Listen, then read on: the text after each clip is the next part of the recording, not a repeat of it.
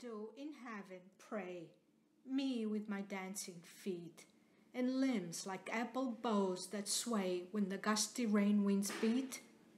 And how would I thrive in a perfect place where dancing would be sin, with not a man to love my face, nor an arm to hold me in?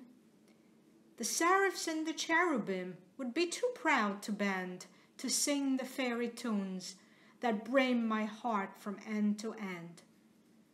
The wistful angels down in hell will smile to see my face and understand because they fell from that all perfect place.